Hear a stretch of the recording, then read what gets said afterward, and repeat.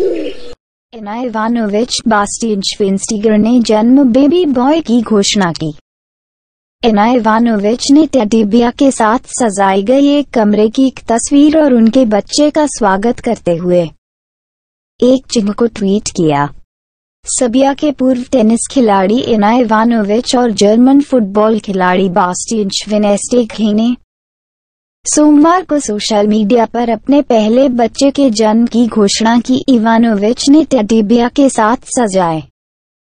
गए एक कमरे की एक तस्वीर और उनके बच्चे का स्वागत करते हुए एक चिन्ह को ट्वीट किया, दुनिया में हमारा छोटा लड़का आपका स्वागत है। शब्द हमारे दिल में खुशी और खुशी का वर्णन नहीं कर सकते। इवानोविच ने लिखा है श्वाइनस्टिगर ने अपने और उसके पति के हाथों की एक तस्वीर को अपने नए बच्चे के छोटे पैरों के ऊपर रखकर, वेलकम टू द वर्ल्ड में हमारे छोटे लड़के, हम बहुत खुश हैं। इवानोविच ने शिकागो में बच्चा दिया, जहाँ स्विंस्टिगर तैतीस के बाद से युगल रह रहे हैं।